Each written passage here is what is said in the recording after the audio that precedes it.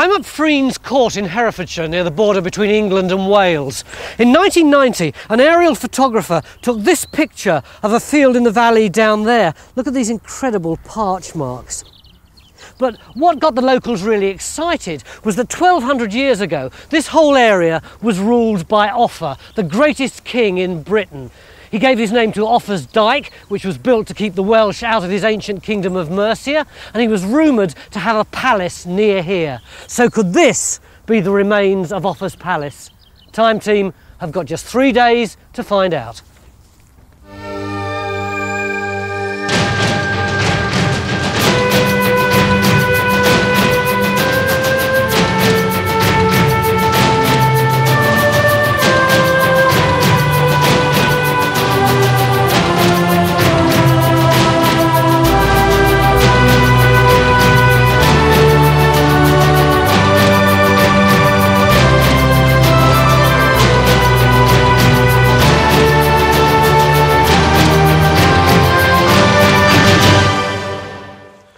Why do we think that Offa might have had a palace here? Right, well, we're towards the end of the 8th century, three years before the end of Offa's reign. He's an old man. We know he comes to a royal vill or palace site in Herefordshire, Yeah. in a place called Sutton. And Sutton's where we are now. Sutton is where we are bet- now, between Hereford and Leominster. This presumably is the field where they found these parch marks. Yeah, we've just come through that gate there and Yeah. we're, we're wandering across into the middle. John, have you managed to geophys anything here yet? Well, we've not, Tony, but the, the lab from English Heritage have, and they've got some superb results. I mean, I just wish they were ours. I mean, you can see here this multi-celled building. That's really this, that's this one clearly. here, isn't it? Yeah. Well, if this really is Offa's palace, it's a major site, isn't it? Well, we only know of about a dozen Anglo Saxon palace sites. Offa was a major European king, so it would be an extremely important site. Uh, we've given it legal protection as a scheduled ancient monument for that reason. If it's legally protected, how do we work out where we're going to dig? Well, we've done a project design for English Heritage, and in that project design, we propose to put a trench over where people are standing over here. So that building that they're standing at is that one there. That's right, with these post pads. The parch marked dots on the aerial photograph are the remains of a second building. Keith believes they mark the stone foundations of a huge aisled hall. And then the building over this way is oriented north south. And so there's a sort of east wall and the west wall. And what we've decided to do is try and put a trench in on the back wall of that, the west wall of Is that. this what you've been calling the multi-celled? That's what we've been calling the multi-cell building because you can see at least three mm. separate parts of it. And then we've also suggested putting a trench over along the line of this bank here, which we think subdivides a larger enclosure. We, we ought to get on with it, hadn't we? So The geophysics results may look great. You great, can't ask for a better plot than that, can you? but there's a problem with them. The survey was carried out eight years ago, and since then, the grid reference for it's been lost. Until we can re establish the exact position of the geophysics, we can't dig. There's the buildings traced off. That's the multi-cell building. This is the. In the incident room, Bernard's trying to figure out the answer. So you can see we've traced all the archaeology off. There's the building um, and trenches in position of the trenches. That's right. So I can. If the parch marked dots can be transposed from the aerial photograph onto a modern map, we can put our trench on the geophysics and get started. do is I'll do a copy of all. But fixing the correct position could take a while. back to this over the Okay, yeah, could use that. Really good. Our problem trench is the one we want to put into our so called aisled building, where we want to locate and uncover the source of two of the parch marked dots. Everyone's being roped into the hunt. So where are we going to go then? In case Bernard can't sort it out, geophysics are also trying to help, but they're not having much luck either. Part of our problem, John, is that with this grass being wet, we're getting some uh, funny readings just as we put it into the into the ground. Well, you can't you can't keep prodding about here all morning. We got we got to make Well, a we've, got to, decision. we, we, have, we have- we have two choices. One is we put on a grid and we properly take some measurements, and in 20 minutes' time we can tell you exactly where to go. Otherwise, we simply just say, right, the grid we've put in is, a, is approximately right based, Based on, the, re, the, the earlier results, Yeah. and you just simply go with the, the best fit, and you can do that now. It's already halfway through the first morning, and our only trench is the one across the earthwork bank. But there's a problem here as well. Because this is an ancient monument, we're not allowed to use machines. The turf and topsoil have got to be lifted by hand, all 17 tons of it. Yeah, there he is. Yeah. That's that's showing the sort of On the site of the aisled building, Phil and Keith still haven't started the trench over the parchmark dots. So where is it, John? I think if you go four metres that way, way. four metres that way, and three, Three metres metres that way. Right, let's we'll be that where on a then. post pad. At last, after three frustrating hours, Phil can finally open the trench. Our English Heritage Inspector, Paul Stamper, is determined to keep it nice and tidy. I just hope we have more than a stripy lawn by the end of day three. We've also got going with a third trench over the multi-celled building, and Carenza's already uncovering remains, but proving they're Saxon's going to be very hard. There's little dating evidence like coins or pottery from this period. But elsewhere in Britain, archaeologists have uncovered remains of Saxon buildings, which probably look like this. The question is, can we prove ours are the same? The plans of all these buildings have similarities, and Anglo Saxon historian John Blair believes that's an important clue. Now, if we're looking for a building of, of, of, of the right sort of date, we might look at monastic building. There's what's probably a monastic hall at Northampton of about 800. Now, a palace of the same date could have looked very much like that. So it, it- we wouldn't necessarily expect something in timber then. It, it could actually be in, in stone or have stone features. Well, it's clearly not impossible. I mean, we don't have any royal palaces of stone of this date, but a, a, an important palace of Offa, who mm. knows? It's certainly not impossible at all. In the 8th century, Offa's kingdom of Mercia was the biggest in Britain and dwarfed its neighbours. Offa even compared himself to Charlemagne, who ruled a huge chunk of mainland Europe at the same time. But Offa was also a ruthless operator, prepared to murder his fellow kings to stay in power. According to records from the 12th century, such a murder actually took place here at the Palace of Sutton in 794. The main character is, in fact, King Ethelbert of East Anglia. By about 1100, there was a very colourful legend that he came here to the royal palace of Sutton to marry Offa's daughter, but Offa let his wicked wife persuade him to murder Ethelbert, so he then became a martyr and was regarded as a saint later on. According to this legend, Offa had the body thrown into a marsh by the River Lug, which is where we are now. And the next thing that happens is that a miraculous column of light appears and marks where the body is hidden. And some local people find it, and they have a vision which tells them to dig it up and take it into Hereford and bury it. The story goes on to describe exactly where they crossed the river, the route they took towards Hereford, and even a strange incident at a place called Lower Lyde Farm. You've got to picture the, the cart, this two ox cart with the body on it, trundling down this road. Yeah. And of course, remember that the head's detached from the body. Why? Well, because Offa chopped it off. Oh, fair enough. Yeah, so, so at this point, the head rolls off Yeah. and it gets lost in the undergrowth. But then there's a miracle, as there always is in these stories, because a, a blind beggar comes along. Of course he does. Yes, and, and he trips over the head Yeah. and immediately recovers his sight. So he understands it's a miracle and he rushes along down the track after the cart and catches up with it at the next village, Shelwick. And then what happens? Well, then they take the body on to Hereford and it's buried there, and that, according to the legend, that's the origins of Hereford. In the aisled building, Phil thinks he's found the source of the parchmark dots. Maybe this is one of the foundation stones of the Saxon building we're hoping to find. Look at this. It's an absolutely enormous s- s- lump of rock. Look at it. Now, would this be what we've been calling the post pad? Well, it ought to be, Look at yeah. that. It's still going. Yeah. Look, there it goes. We need to see how big look, it look is, at that. really. Look, there it goes. Is it going in the bulk as well? Oh, ah, get your Over fingers here. out the way and leave it alone. I get in there. Look at that. It, it, it, it still Look, don't, it's still. Hey, look at that. it still don't look big enough, Phil. Really. Well, how much bigger? Look at that. How much bigger Oh, do you right. want it? Is it? Is it still? What would it have been for then? Well, it's to Look at that. support a, a big post of the aisle. Imagine like a church with aisles down the side. Yeah. And the posts stand on stones so it, they don't press into the ground. You know. It's, So, is this the kind of technique that the Anglo Saxons tended to use when they were building their palaces? no, it isn't really. It's a bit of a worry that. I mean, what they would have done would be to dig a big pit and put a big post in it, you know, and ram it, and that would support the roof. This is a sort of technique that comes along a bit later. But could it have been built within where an Anglo-Saxon hall was. Ah, Yeah, because what we get on so many of these places is that the, the palace site goes on being used. I mean, at Cheddar, for example, it goes on right till the 13th century. So the last phase is a big uh, medieval halls, but the, the Anglo-Saxon ones are amongst them. So there might be something underneath. Mick thinks that what we've got so far is largely medieval, and with good reason. Keith, these maps are absolutely beautiful, aren't they? Carenza's been looking at an 18th century estate map which shows the field we're digging, and next to it, a medieval manor house called Freen's Court. We'll have to identify any medieval buildings we find to eliminate them from our hunt for Anglo Saxon remains.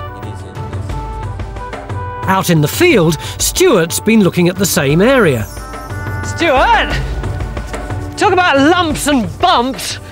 This must be heaven for an archaeological uh, surveyor. sheer, sheer paradise. It makes a nice change to have lots to work with, and that there is a fantastic amount of information in the earthworks on this site. So, so what can you see that we've got so far? Well, at the moment, we're stood in a fish pond. This thing that's like a, a big stadium. That's it. This would be wet, and if you run up that way, you'd be running Yeah. up onto the bank round the edge.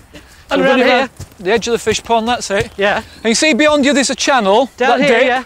If you're in that channel, Yeah.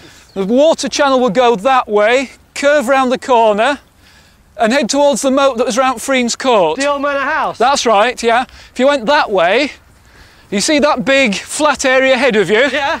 That's a former lake. It's, It's a wet. I got you. I mean, it, this whole thing is a complex of ornamental lakes and fish ponds, all to do with the manor house. It's a big manorial complex. What sort of period? I think we can be anywhere from about the 14th century right through to, to the 18th century. So, have you seen anything here yet which seems to you Anglo-Saxon? Nothing. Nothing. Zilch. Bang Everything- goes this episode of Time Team. Everything looks classically medieval as it stands at the moment. I mean, the trench where we're digging just there, which was, Have a look at th- was thought to be a subdivision of this Saxon palace enclosure, yeah. um, that's the dam that holds back this lake here.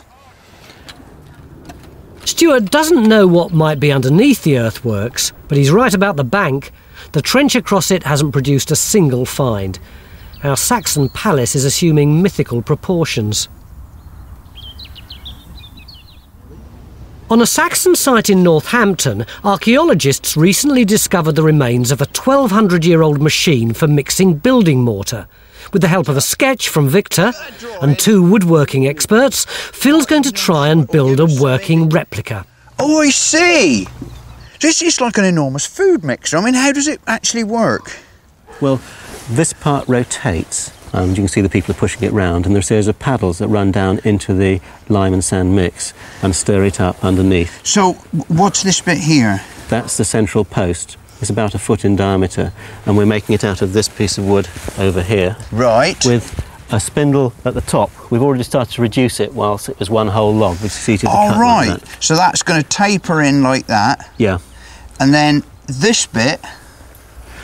Is made out of this log here, which I'm going to split in half. And we'll use the offcuts from the other half to make the paddles out of. and then you literally just push it round and Yeah, round and round. So where are we going to put this thing? It's going to go over there. Oh, I see, round here. That's right. We've got to do some wattle work to hold the mortar in because this one's going to be set on the ground. Some were actually dug into the ground. I'm going to start with this small mallet just to get The first task is to split the log in half to make the rotating crossbeam. Richard's using just wooden wedges and a Saxon mallet to split the tree trunk along the grain of the wood. Have you got absolute control over which way this thing is going to split? Well, you've got to rely on the tree. If you if you use wooden wedges, then they tend to run along the grain. Oh, oh, look at that, and you can hear it. You still hear it too. Yeah, like duck quack. If they drive the wedges in too fast, there's a danger the log won't split cleanly down the middle. This isn't going to be a quick job.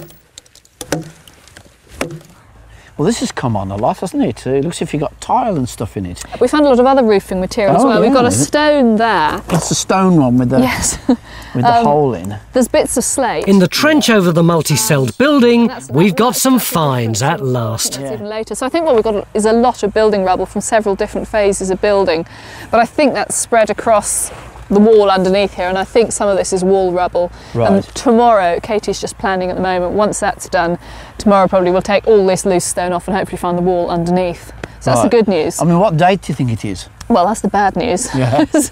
um, nearly all the finds we've had have been post-medieval. We've got everything from sort of, you know, bits of willow pattern plate. Yeah.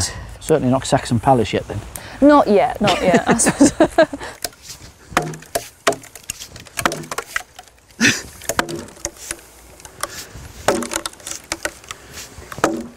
Well, I'll cut across this bit if I. That's incredible. You can tear that Look at that. bare hands. Yes! One half of this will become the rotating part of the mortar mixer. Tomorrow's big challenge will be to set up the other log as the centre post on which it'll turn. That was all right then, wasn't it? It went very well, yeah. yeah. God. You look pleased as punch about this trench. What is it? I think it's a really nice piece of British archaeology. Very, very typical of what we find all over the country. But what is it that we can see? Well, we've got a laid surface here, running right the way across. It's possibly laid over rubble. Over here, one of those post pads that we were talking about. Possibly another one under the balk back in there. Then there could, this could be the fragmentary remains of another one in here. Yeah. And then we talked about this uh, being an aisle building. And outside it, we can see just the traces, possibly, the of a wall the coming through yeah, into there. yeah. Any idea of a period? Well, this is this is rubble. Um, we've got no dating evidence so far. Um, it could be post-medieval even at, the, at this stage, Or medieval? or medieval. Or Saxon? Well, that's the more difficult. How, how do we find out? Well, one way we can find out is by taking a, a quarter of the trench out tomorrow, Yeah. going down through the surface into the underlying rubble, remove some of that, and see if we've got post holes and that kind of feature. Stuart, when I last saw you, you said that you were going to try and work out the medieval landscape around the fish ponds. Mm-hmm. How have you done? I think we- we've had a certain amount of success actually. What we seem to have is a series of fish ponds on that alignment, which are replaced by further Yeah. ponds over here, this, this lake. The whole thing looks like a manorial, mene- medieval manorial complex to me, mate. With its fish ponds and gardens That's and all right. the rest of it, yeah. And something else interesting has emerged in that if you look at the 1720 map and 19th century Ordnance Survey maps, we put Yeah. the whole lot together yeah. and match these two up. If you can see just there, there's a building shown on that alignment, Oh, on the, yeah, just yeah, outside the yeah. moat on the Ah. 1720 map. Yeah. It matches perfectly with that end of this patch right here. So it looks as though we know what the medieval landscape here was like, but the question is, was there anything here earlier?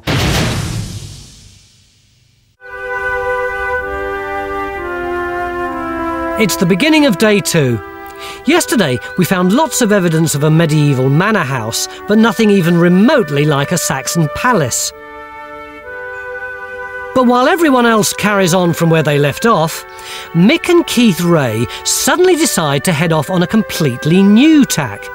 Mick's turned his attention to a small knoll, quarter of a mile from the main site. Yesterday we were excavating for Offa's Palace down the bottom of that hill, which is what I thought we were going to continue to do today. But suddenly, lock, stock, and barrel, we all seem to have moved into this potato field. What's going on? So we've got this aerial photograph with this um, crop mark on it. So we always intended to come up and look at this. Yeah, I think that we really need to be looking at one or two other locations in the landscape. The question is, what are the clues for that? Now, this enclosure is one of those clues. It's quite unlike the Iron Age and Roman enclosures that we've got yeah. in this area. It's very elongated. So, have we geophysed this area yet? Yeah, look at the results. Clear as anything. I can't see anything at all. you can just see the hints of maybe two ditches, in fact, and then returning at that point there. So, how are we going to get at whatever's here?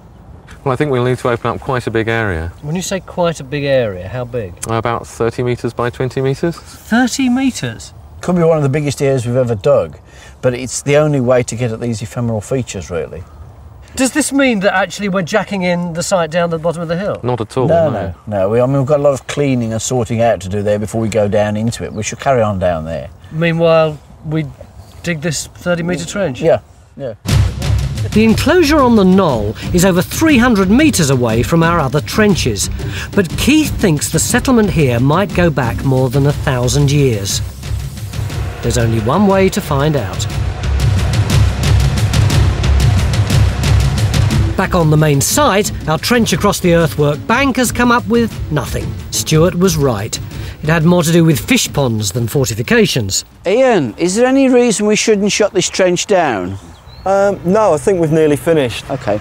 You happy about that? Yeah, I am. I think Well, I mean- uh, this has quite efficiently characterise what we've got here, particularly tying it in with what Stuart's discovering. Yeah. The lack of any medieval or earlier evidence in this trench is uh, disappointing. Because you know, we were going to clean But in the trench over the aisled hall, things are looking more promising.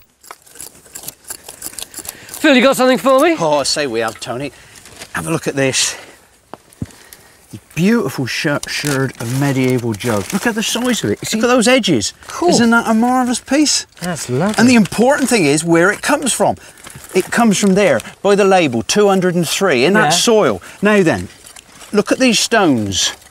Those stones go into the soil. So the soil is lapping up against it. So it looks as though the stones went in first, the soil is lapped up against them, and then the cobbles, which is what we're taking off, is again lapped up against these. These stones are protruding up through. So if these cobbles are Post-medieval, post-medieval and this is underneath job is it. underneath with this in, then this could probably well be medieval. Yeah. Oh, that's good, isn't it? Fragments of pottery may be our best chance of dating these buildings accurately. If there's one person who can tell us exactly when and where each piece was made, it's local pottery expert Alan Vince. Okay.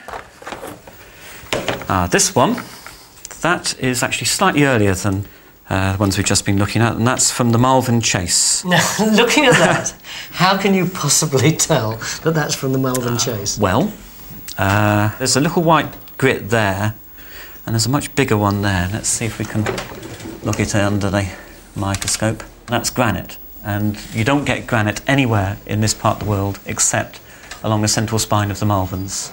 And do we know that there was a pottery there? Yes, yes, it's uh, well documented up until the uh, 1620s, and after that, uh, the chase that supplied the fuel uh, was enclosed, and they couldn't use the uh, the wood anymore, and so the pottery just folded. What about the medieval piece that Phil was so excited about? Right, you are Alan. Okay. Well, it's a jug, which is a standard medieval form. Uh, it's thrown on a wheel, and in this part of the world, that means it's at least the middle of the 13th century or later. And it's got quite a lot of sand in it, but it doesn't look like it's quartz. We'll have a look, see what we can tell. Ah. That's a sandstone sand, and there's only one place you get that around here, and that's the Lug Valley, which is just up the road. So this is a locally made medieval pot, and I would say it probably dates to the end of the 13th or 14th century. The medieval jug would have looked like this.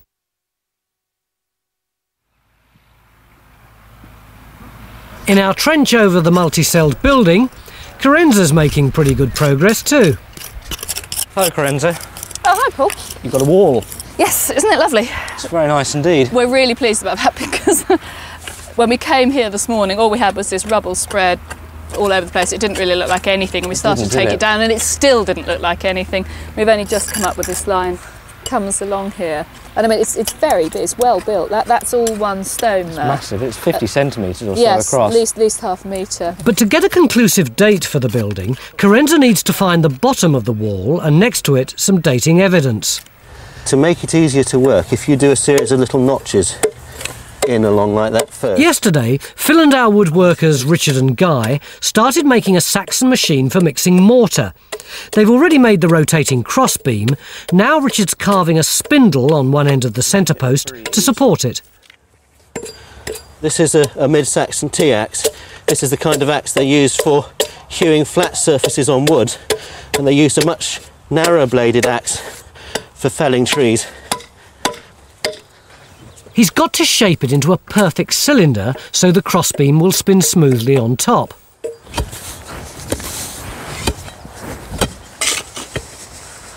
Once the centre post is in place, they'll build a wattle fence around it to hold the mortar.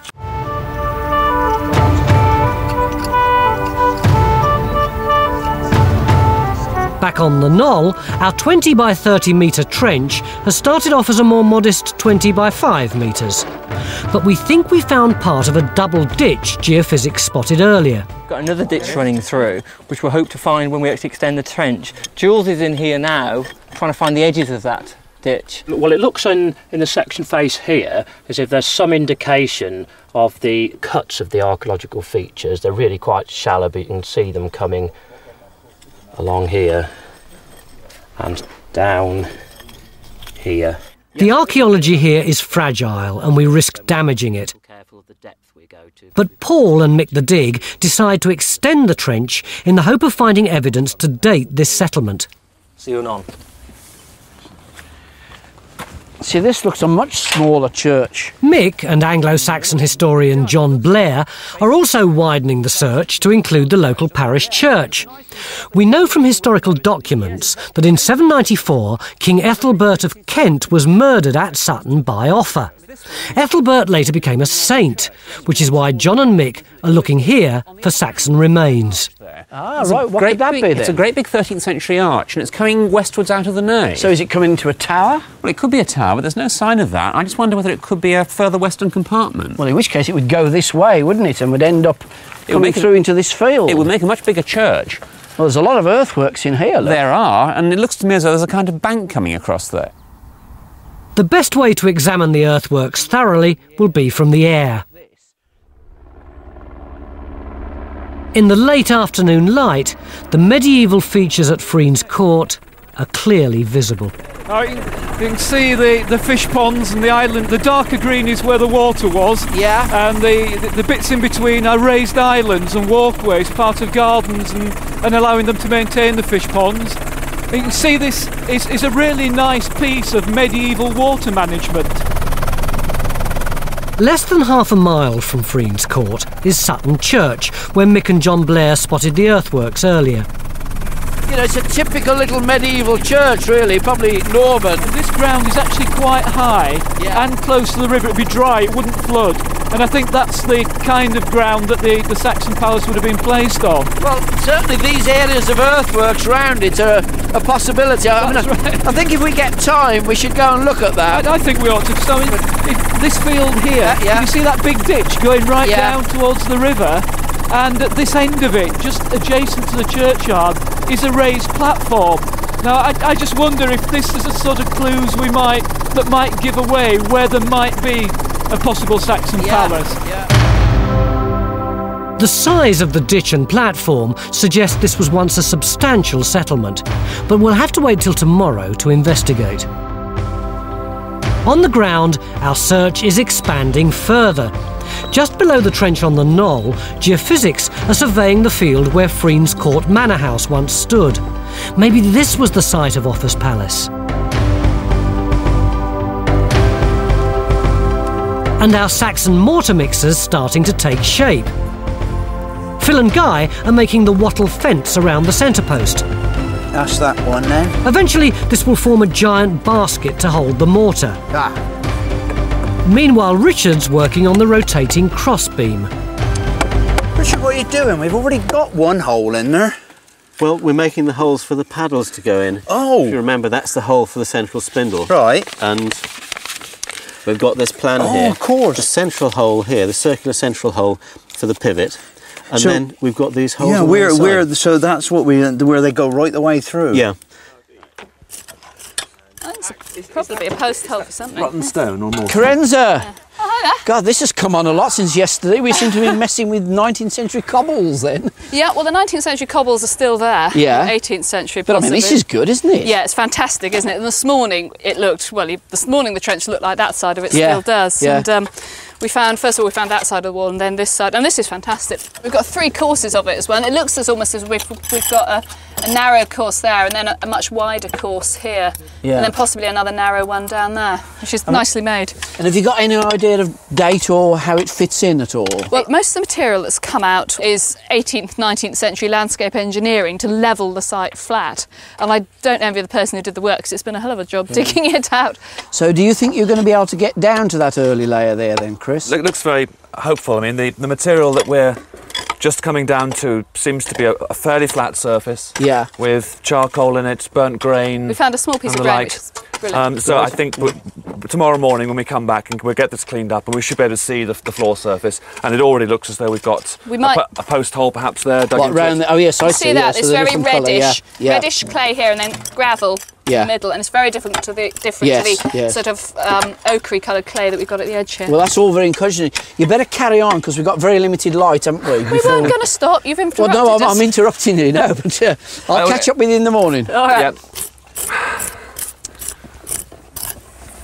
So where have you been all day? Well, I've been looking at churches and flying in the helicopter. So you've no idea what's happening in Well, our wonderful trench? Yeah, I mean, there's another post pad here, look, from Well, a big that's popped timber. out of nowhere, isn't it? Underneath all the, the rubble and so on. And then all this area's been cleaned, and Phil's got some fantastic stuff out of this hole, haven't you? We are really, really chuffed, Tony. We, we've actually pushed the story back in this trench, what, several hundred years. Out of that hole, we've got pottery 1150 to 1200. Excellent. And we're getting pieces of masonry. This is high status stuff. This is not farmyard stuff. It might even be part of a window surround. And that's come out of here as well. And then from up on the top of the hill there. Yeah. We've got a piece of um, 11th century pottery. This is sort of time of the Norman conquest from, from that trench up on the top. Excellent. Bye. It's the third day of our hunt for Offa's Palace, and we've yet to find a single piece of Saxon evidence. But we've got the new geophysics results from Freen's Court. Stewart wants to examine the earthworks behind Sutton Church. There are lots of options, but little time. So Mick's going to have to choose. What you got there, Chris? Well, this is the magnetic response from Freen's Court. In fact, we've got an absolute wealth of archaeology in there. It's stuffed. So can we dig there? Uh, no, I'm afraid you can't. Hello. Well, that's pretty definite, wasn't it? It's within the scheduled area and so not without prior permission. So does that mean we're just going to be able to work on the parts of Freen's Court we've already been in? Well, we're going to carry on there, but we've got another option just uh, up the road where the church is, where Stewart and I saw these fantastic earthworks from the air yesterday. So I think we might have a look at that. Just to orient you, there's Freen's Court there, you can see the earthworks. That's the Iron Age hill fort on top of the hill, and the church is just there. Now, what we saw from the air is a large ditch coming down here, and also a big high platform here.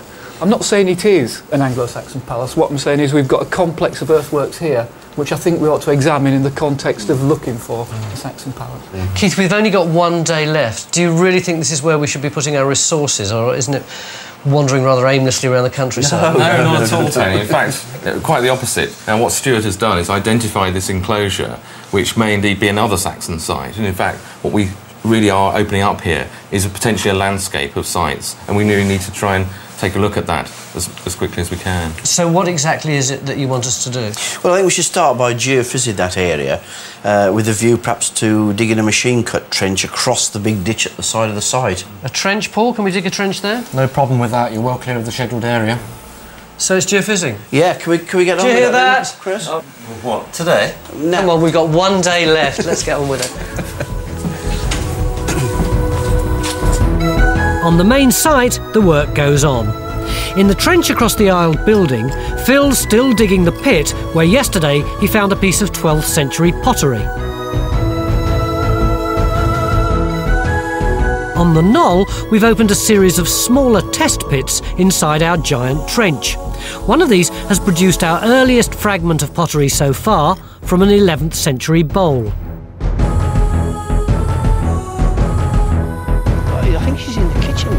But before we can investigate the field behind Sutton Church, we need permission from the owner.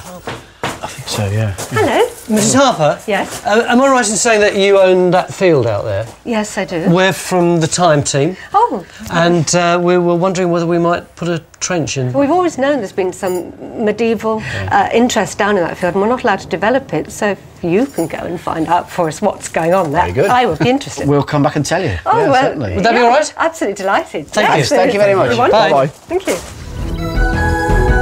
Next to the church, geophysics survey the platform. But we open up a new trench straight away across the boundary ditch nearby. The ditch may be another medieval feature, but it could be a lot older. We'll see. Back at Freen's Court, Carenza's finally got some dating evidence for the multi-celled building. We are starting to make just a little bit of progress on that at last. Um, we uh, have gone down, well, we've gone down both sides of the wall here, and as you can see, it's showing up quite nicely. It's still going to go down further because these clay layers here are still butting up against it. There's no foundation cut for that wall visible yet. This is where we looked last night along That's this, right? Yeah. yes. And then one of these floors, when we cleared, cleared it down, from just about down here, stuck between two of the brick, the stone courses in this wall, Yeah. we have found a piece of pottery. Oh, right. Which Alan Vince has had a look at and dated to the early 12th century. Oh, right. So so we're, we're looking at something around about 1100 then. That's right, yeah. The wall must have been built before the floor in which we found the bit of pottery was laid. A date for the pot would therefore tell us the latest construction date for the building. That's if our pottery expert Alan Vince can identify one of the sherds. Right. Got anything else? Yes, well, there's this bit as well, which is Oh, rather wow. nice. Is that Right. a rim sherd there? Yeah.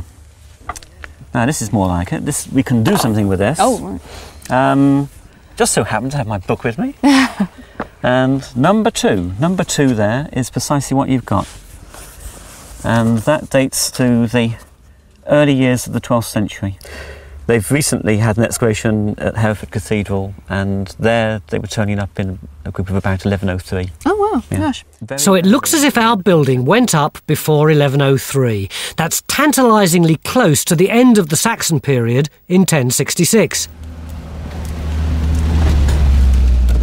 John Gater's got the geophysics results from the field behind Sutton Church. Yes. Is it good? Well, look at this. This is the resistance plot.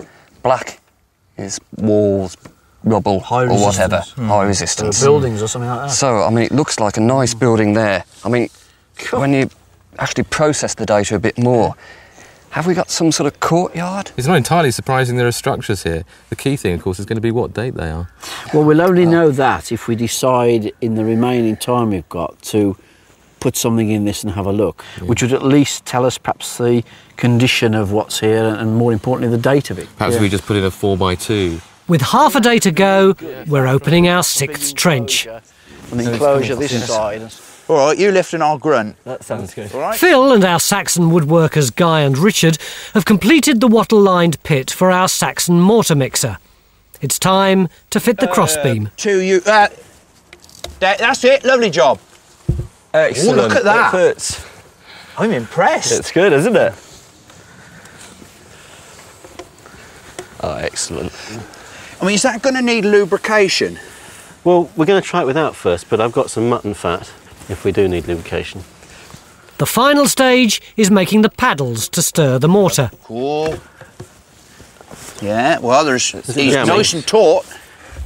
Is that uh, is that big piece of pottery going to come out? Yeah. In our trench over the aisled building, we've hit a layer of burnt material, including more fragments of pottery. Sieving this charcoal has revealed burnt seeds and cereal grains, which we can send off for radiocarbon dating. Our trench on the knoll hasn't produced any more pottery, so we shut it down. But from our earlier finds, we know there was a settlement here nearly a thousand years ago. In Carenza's trench, the piece of pottery from 1103 has prompted a radical rethink about the age of the multi-celled building. And when, when we started, if you remember, we'd got two basic models for a building of this shape, this cellular structure. One was Middle Saxon royal palace Yeah. in stone. Um, the other was perhaps 12th, 13th century manorial complex.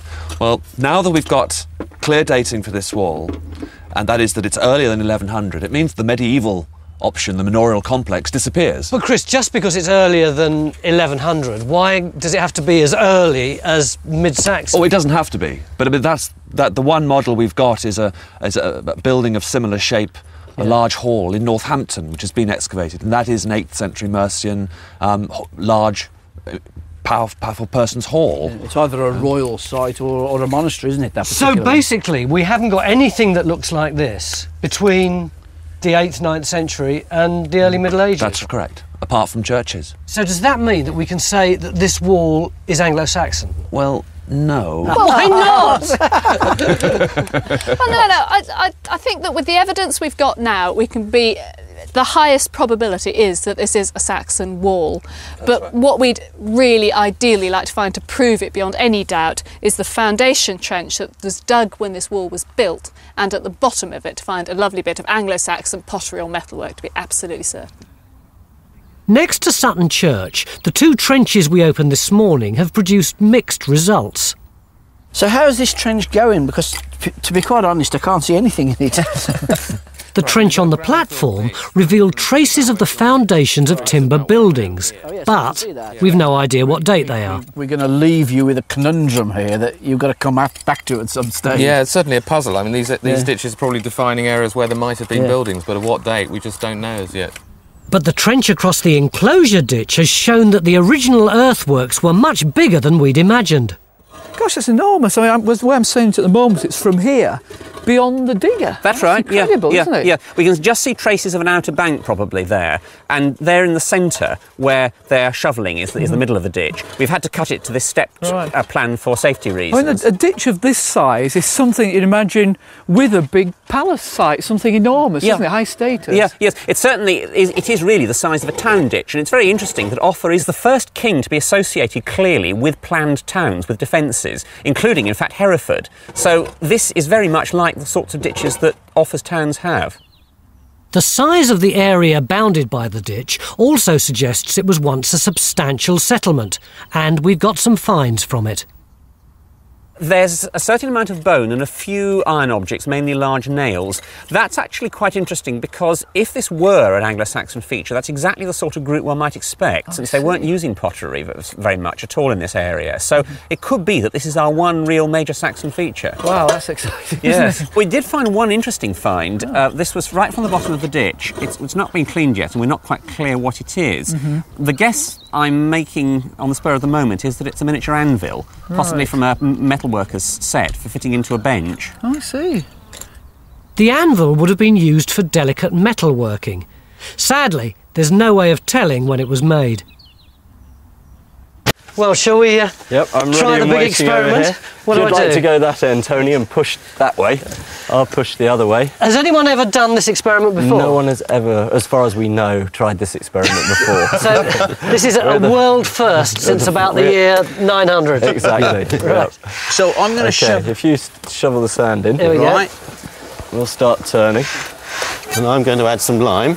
Not madly convinced by the lime in the plastic buckets. Well, it is the traditional unslaked lime. Oh, so it's really used the kind they'd have used? Yeah.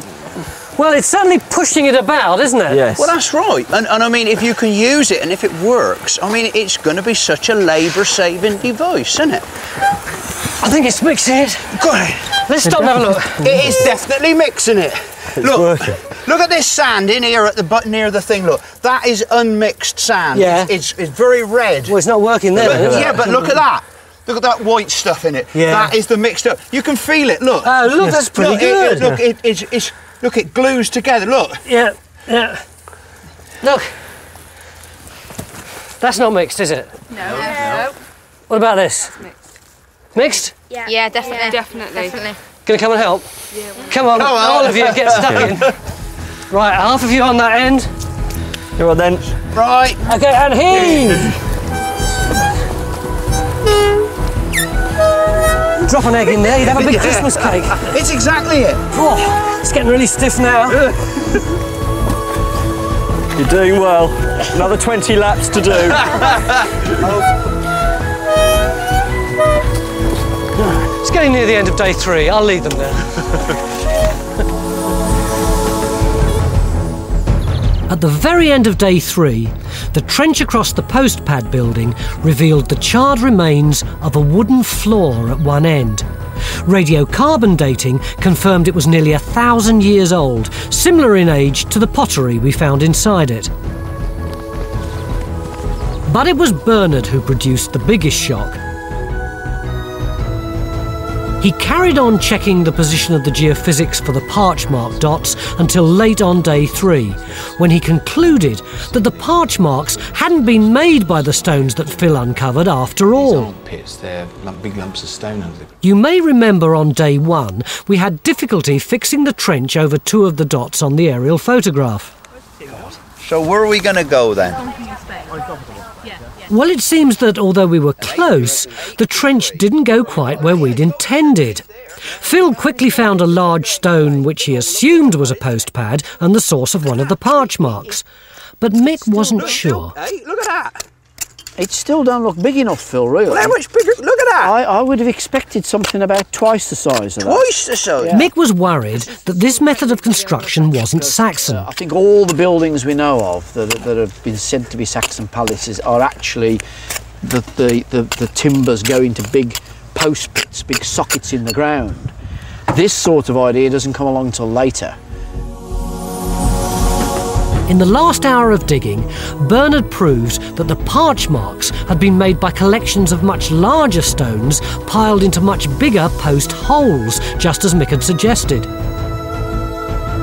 Originally, these holes were giant sockets for timber uprights, sunk two metres into the ground.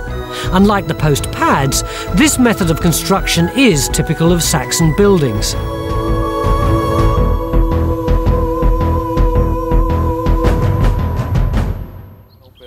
We can't be sure how they looked, but we do know that all the buildings here were constructed on a grand scale, and that many of them were in use at roughly the same time.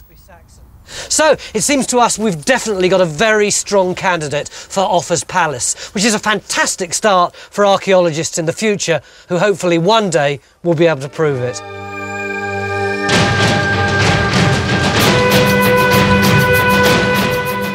Over on Civilization next, the ghost hunters search for spooks. Here on Discovery Channel next, though, we enter the chaotic world of the Monster Garage.